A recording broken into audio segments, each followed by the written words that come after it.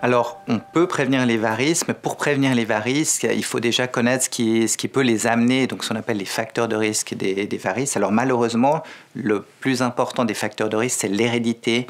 Euh, donc, si, votre, si vous avez un parent de premier degré, votre père ou votre mère qui a des varices, vous êtes à, à très haut risque d'en développer à un moment donné ou à un autre. Et puis là, on peut difficilement le prévenir.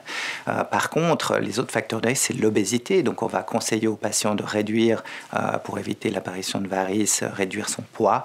Euh, les, autres facteurs de risque connus, c'est le, les, les, positions statiques prolongées, donc les activités professionnelles qui vous obligent à rester debout longtemps sans bouger ou assis longtemps sans bouger.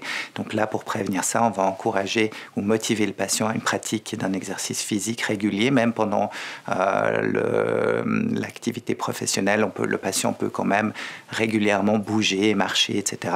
Ce qui va améliorer le retour veineux.